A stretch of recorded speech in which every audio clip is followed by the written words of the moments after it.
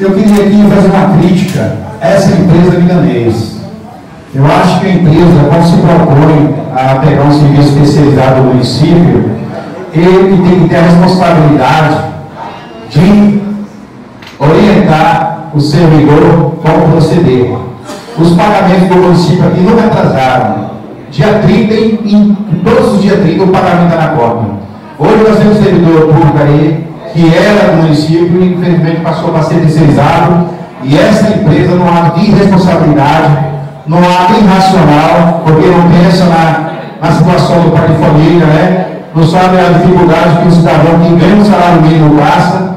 Né? Tá aí, hoje nós estamos dia 12 e essas pessoas não receberam o salário ainda. Eu queria que essa empresa pelo menos fizesse o pagamento da pessoa e depois, já que a pessoa está empregada, fizesse o pagamento das pessoas e depois orientasse as minhas. Entendeu? Mas o que não, o que não se pode é deixar o pai de família pagar pelo erro que é da empresa.